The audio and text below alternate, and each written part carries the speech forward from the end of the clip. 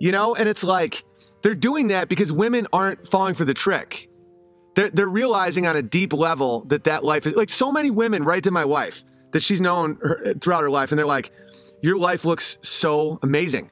My wife is a homemaker, she is a mother, she um, lives on a farm. Her husband is a super masculine, borderline warlord who like protects and provides.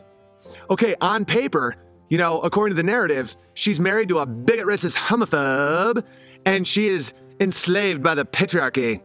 When in reality, she's living what women want.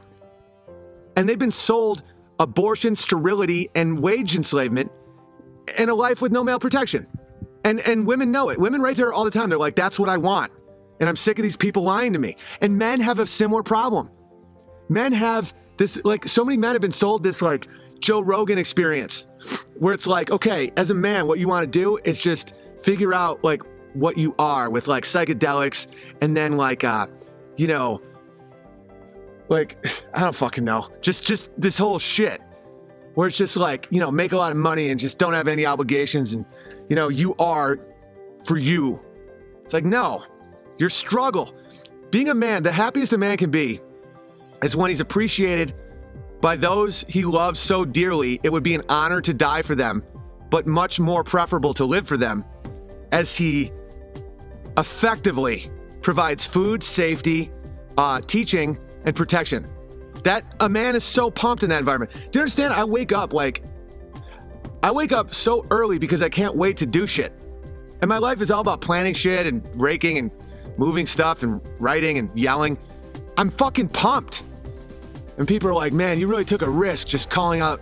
It's like, dude, it's a risk to live a life of quiet desperation. The male spirit dies when it's scared of conflict, when it's like, well, according to CNN, you know, they're gonna take even more of our freedoms. Man, that sucks. I just, I gotta just keep my head down to keep these fucking fancy pants though, or else no one will respect me at the club. That's a man that's that's dead inside, and uh, he's been cucked. And the only one who's gonna pay the price is himself. You know, it's not heroic to be like me. It's natural. I'm, I'm no fucking hero. I'm just a man crushing. There's nothing better than facing an enemy, figuring out how to win, and winning. If your goal is is like the fancy pants, you, you don't win because it's a weakness. Your goal is like, okay, how do, do you know? How do my people win this thing? Okay, let's go. And then you win, and you and you love it. And all these men are like, these times are too dangerous. You know, these like weird squares in her pocket that didn't exist that long ago. They have these like this digital thing that lights up, and uh, and it creates fear in my mind that I don't see anywhere. And because of that, I change my behavior and agree to a lot of things because I become very scared.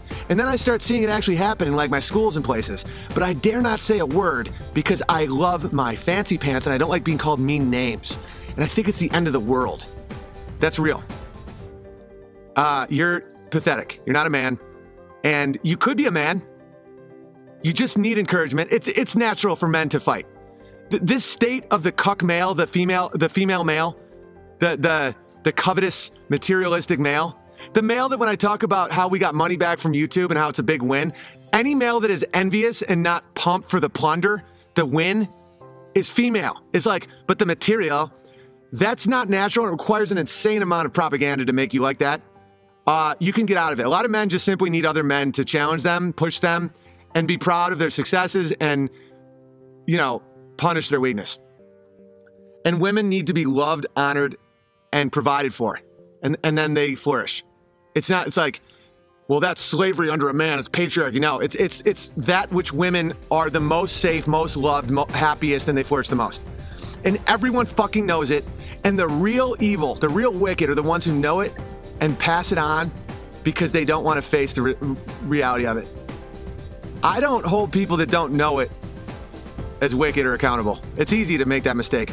It's the people that know this is true and they go along with it. They go along with the evil. They sell out their own people. They sell out women. They sell out men. They sell out their nation. They sell out God.